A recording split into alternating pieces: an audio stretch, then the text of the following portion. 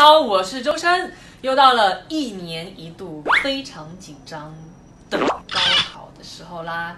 然后你现在很紧张吗？我是不紧张了，所以为了让你能够稍微轻松一下，我跟你说一个发生在我身上比较好玩的事情。事情是这样的，有一次我出去出差，然后想让工作人员帮我带酸奶，然后他就忘记帮我拿勺子了。我聪明啊，所以我就想了一个解决的办法。最后我的酸奶是这样吃的。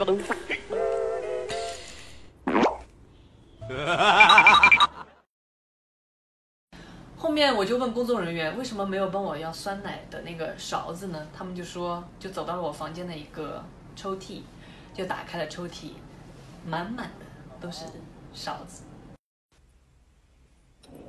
Hello, it's me. 所以呢，这个故事告诉你，一定要仔细，不要紧张。高考要到喽，所以我们要带好自己的身份证、准考证、黑色的中性笔，然后考试专用的铅笔，然后最好带一个铅笔刀吧，然后一定要带一个没有任何封套的那个橡皮擦，因为不能够带任何有文字的东西进去吧，我印象当中。然后直尺、圆规、三角板都要带一带哦。总之就是带好你自己，以一个比较和平的心态去面对它。因为高考很重要，但是高考也没有那么的、那么的、那么的有决定性，所以不要给自己太大压力。因为高考完之后你就解脱，解脱。